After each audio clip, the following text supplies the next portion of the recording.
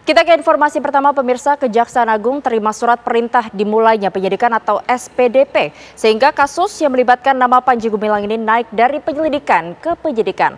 Lantas kapan tersangka dalam kasus Al Zaitun segera diumumkan mengingat dengan diterbitkannya SPDP artinya nama tersangka dalam kasus ini telah dikantongi pihak Bareskrim.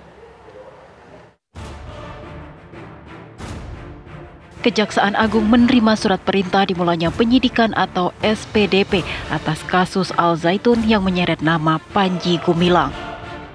SPDP dari Ditipidum Bares Krim Polri atas nama terlapor berinisial ARPG alias SBG alias BG Panji Gumilang. Artinya, kasus telah dilimpahkan dari Bares Krim ke Kejaksaan untuk dilakukan penyidikan atas nama terlapor. PDP tersebut diterbitkan penyidik di Tipidum Barreskrim Polri pada 5 Juli lalu. Jadi kami baru menerima hari Kamis yang kemarin ya, SPDP atas nama terlapor ARPG alias SPG alias PG alias AT. Jadi pasal yang dilanggar itu adalah pasal penodaan agama 156 KUHP, 156 huruf A KUHP ya.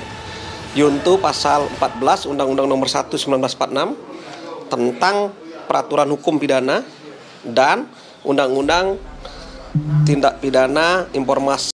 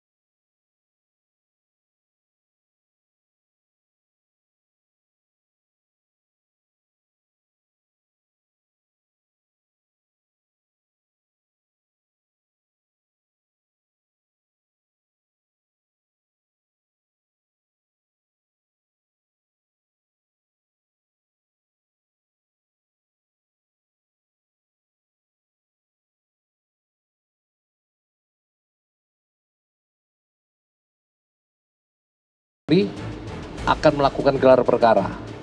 Ya.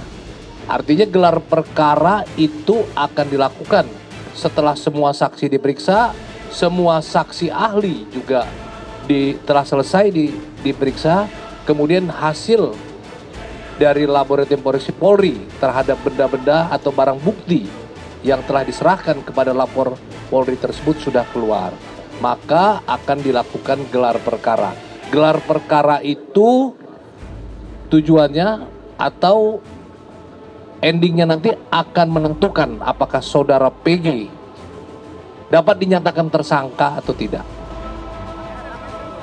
Hingga saat ini penyidik telah memeriksa 19 orang terkait kasus dugaan penistaan agama yang menyeret pemimpin pondok pesantren Al Zaitun Panji Gumilang. Penyidik juga memeriksa sejumlah saksi ahli, yakni saksi agama Islam, ahli sosiolog, ahli bahasa, hingga ahli ITE. Namun, penetapan tersangka masih menunggu analisa barang bukti yang dilakukan Pusat Laboratorium Forensik Mabes Polri. TV One mengabarkan.